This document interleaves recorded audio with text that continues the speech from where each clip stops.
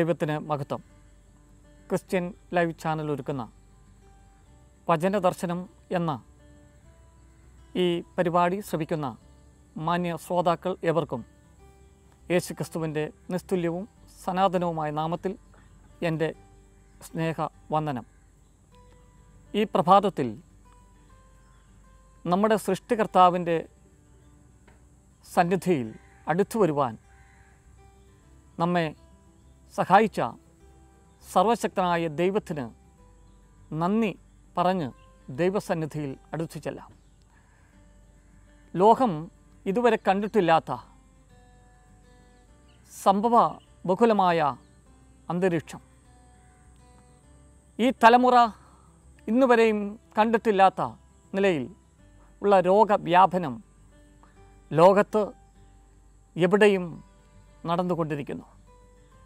ഭരണകൂടങ്ങൾ ആവോളം ശ്രമിച്ചിട്ടും രോഗത്തിന് ശമനം വരാതെ വ്യാപനം ദിനം പ്രതി വർദ്ധിച്ചുകൊണ്ടിരിക്കുന്നു.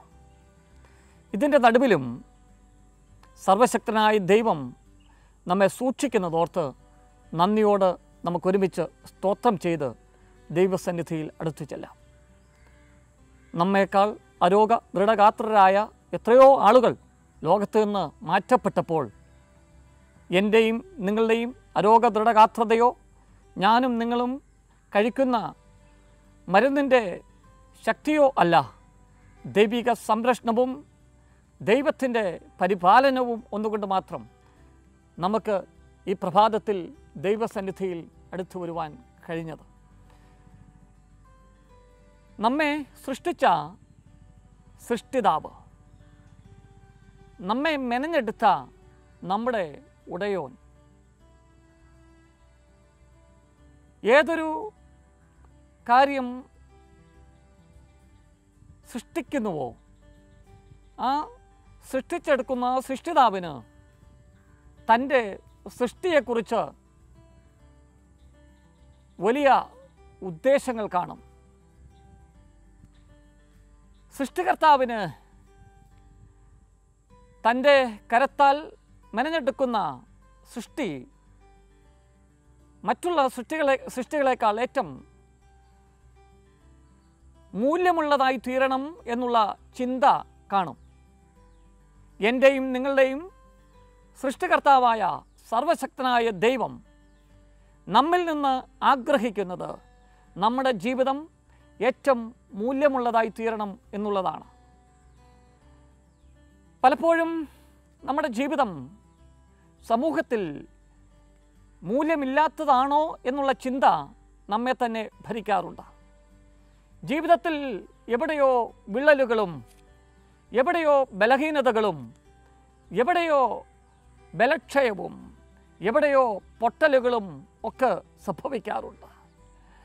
നമ്മുടെ സൃഷ്ടികർത്താവായ സർവശക്തനായ ദൈവം നമ്മെ സൃഷ്ടിച്ച് തന്റെ ശ്വാസം നമ്മിൽ ഊതി നമ്മെ ഈ ലോകത്ത് അവന്റെ സ്വഭാവത്തോട് അനുരൂപമായി ജീവിക്കണം എന്നുള്ള ഉദ്ദേശത്തോട് കർത്താവായ യേശുക്രിസ്തുവിന്റെ സ്വഭാവത്തോട് അനുരൂപമായി ഞാനും നിങ്ങളും ജീവിക്കണം എന്നുള്ള ഉദ്ദേശത്തോടു കൂടെ നിലനിർത്തുമ്പോൾ പലപ്പോഴും സൃഷ്ടിതാവിന്റെ ലക്ഷ്യം വിട്ട് നാം അങ്ങ് അകലെപ്പോകാറുണ്ട് എന്നാൽ മൂല്യമില്ലാത്ത നമ്മുടെ ജീവിതം കാണുവാനല്ല നമ്മുടെ സൃഷ്ടിതാവ് ആഗ്രഹിക്കുന്നത്.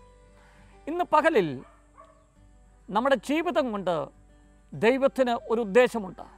ഞാൻ ആദ്യം പറഞ്ഞതുപോലെ നമ്മേക്കാൾ രോഗ ദൃഢഗാത്രരായ ആളുകൾ ലോകത്ത് നിന്ന് മാറ്റപ്പെട്ടപ്പോൾ എന്നെയും നിങ്ങളെയും ഈ ഭൂമിയിൽ ജീവനോടെ ശേഷിപ്പിച്ചതിന് പിന്നിൽ ദൈവത്തിന് ഉദ്ദേശം ഉണ്ട്. ആ ഉദ്ദേശം എന്നുള്ളത് ഞാനും നിങ്ങളും ഉദാത്തമായ മൂല്യമുള്ള ജീവിതത്തിന്റെ ഉടമകളായി മുന്നേറുവാനാണ്. അഥവാ ക്രിസ്തുവിന്റെ സ്വഭാവത്തോട് അനുരൂപമായി നമ്മുടെ ജീവിതം രൂപപ്പെടുത്തി വിളങ്ങുവാനാണ്. ജീവിതത്തിൽ എവിടെയാണ് വിള്ളലുകൾ? എവിടെയാണ് നമ്മുടെ ആത്മിക സൗന്ദര്യത്തിന് ഒരു കുറവ് സംഭവിച്ചിട്ടുള്ളത് എന്നുള്ളത് നമുക്ക് മനസ്സിലാകും. അവനവന് അവനവന്റെ കാര്യം മനസ്സിലാകും. ഈ പ്രഭാതത്തിൽ നമ്മുടെ സൃഷ്ടിതാവിന്റെ കരത്തിലേക്ക് നമ്മെ ഒന്ന് ഫലമേൽപ്പിക്കാം കുശവന്റെ കയ്യിലെ പാത്രം എന്ന വണ്ണം ഉടഞ്ഞ പാത്രത്തിന്റെ അറ്റകുറ്റപ്പണികൾ ചെയ്ത് പഴയതുപോലെ സൗന്ദര്യപൂർണമായ ആകൃതിയുള്ള വിലയുള്ള പാത്രമായി മാറ്റുന്നത് പോലെ നമ്മുടെ കുശവനായ നമ്മുടെ സൃഷ്ടിതാവായ ദൈവത്തിന്റെ കരങ്ങളിൽ ഈ പകലിൽ നമ്മുടെ ജീവിതം സമർപ്പിക്കാം. ഇന്നത്തെ നമ്മുടെ ജീവിതം ഒരു അനുഗ്രഹമാകട്ടെ. സമൂഹത്തിൽ മൂല്യമുള്ള ഉദാത്തമായ ജീവിതം നയിപ്പാൻ സർവശക്തനായി ദൈവം നമ്മെ സഹായിക്കട്ടെ എന്ന് ഞാൻ പ്രാർത്ഥിക്കുന്നു. God bless you. ദൈവം നമ്മെ അനുഗ്രഹിക്കട്ടെ.